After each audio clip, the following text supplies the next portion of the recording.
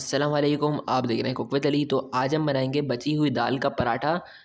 तो बहुत ही special recipe है। तो सबसे पहले यहाँ पर हमने लिए एक कप दाल। ये दाल हमारी रात को हमने बनाई थी तो बच गई थी। तो हमने सोचा इससे नई रेसिपी तैयार करते हैं। और हमने ट्राई की तो बहुत मज़े की बनी। और सोचा कि आपके साथ भी उसकी रेसिपी शेयर करते हैं। तो सबसे पहले एक कप दाल है। इसको हमने चूल्हे पे रख के एकदम ड्राई कर लिया है, खुश्क कर लिया है। इस तरीके से आपने भी ऐसा ही करना है। और इसके अंदर अब ऐड कर देंगे हम वन टेबल स्पून कुटी हुई लाल मिर्च।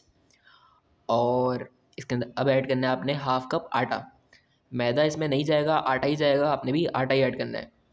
बिल्कुल आपने पूरी रेसिपी को फॉलो करना है, अगर आपने थोड़ा भी स्किप कर दिया तो मुझे नहीं लगता कि आपकी भी सेम वही रेसिपी तैयार होगी। तो आपने क्या करना है, अच्छी तरह इसकी मिक्सिंग करनी है इस तरीके से। ये देखें इस तरीके से अच्छी तरह आपने मिक्स कर दें कि दाल और आटा अच्छी तरह मिक्स हो जाए। अच्छी तरह मिक्स करने के बाद आपने क्या करना है, इसको अच्छी तरह से गूंद लेना है। बहुत ही आसानी से गुन जाएगा। तो जैसे नॉर्मली हम घर में रोटियों की डो तैयार करते हैं, उसी तरीके की इसकी भी डो तैयार होगी। तो जैसे हरी मिर्च निकली है, उसको हमने अलहदा कर दिया है, क्योंकि वो हमें नहीं चाहिए इस रेसिपी में। तो अब हमने क्या करना है, इसका, इस साइज़ का देखिए, पेड़ा बना लेना है सबसे पहले। ये देखिए, खूबसूरत सा गोल सा पेड़ा बना लें सबसे पहले, और अब इस तरीके से हम इसको बेलेंगे। सबसे पहले हम मैदा डस्ट कर देंगे।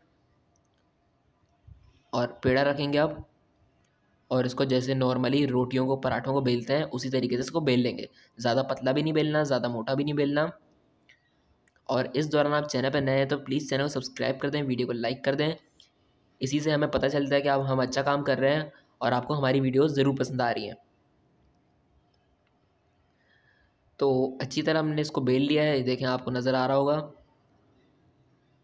और अब इस तरीके से हम फोक की मदद से इसके ऊपर छोटे छोटे से सुराख कर लेंगे। ये बहुत ज़रूरी है, आपने भी ऐसा ही करना है सेम ये देखें इस तरीके से। चारों तरफ़ हमने इसके सुराख कर देना है और अब हम चलते हैं इसकी सिकाई की तरफ़, इसकी पकाई की तरफ़। तो देखें कितना खूबसूरत सा पराठा तैयार हुआ है और अब हम इसको सेक लेते हैं। तो सबसे पहले यहाँ पे हमने पैन के अंदर लिया है घी फ्राइंग के लिए। इसके अंदर ऐड करेंगे one tablespoon cooking oil. आप चाहे घी से सेक लें, इसको मक्खन से सेक लें, ऑयल से सेक लें डजेंट मैटर किसी से भी सेक लें आप। तो आपने इसको अच्छी तरह से सेकना है, जैसे नॉर्मली घर में पराठों को सेकते हैं। जैसे हमारी दाल है, वो पहले से पकी हुई है तो दाल को तो पकाई की ज़रूरत नहीं है, जैसे बस आटा है, उसको थोड़ा सा हमने पकाना है और खूबसूरत सा इसको गोल्डन सा कलर देना है।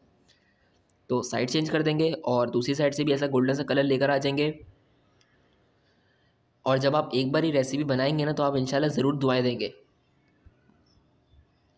ये देखिए कितना खूबसूरत सा कलर आ गया है और अब हम इसको डिश आउट कर लेंगे और इसी तरीके से जितने आप बनाना चाहें, वैसे तैयार कर लेंगे।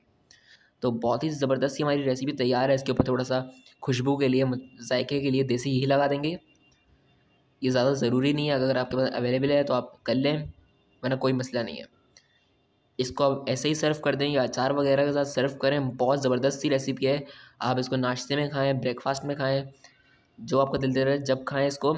बहुत ही ज़बरदस्त रेसिपी है आज की। और आज की रेसिपी तो बहुत स्पेशल है आप सभी के लिए तो इसी बात पे वीडियो को ज़रूर लाइक करिएगा। तब तक के लिए अल्लाह हाफिज़।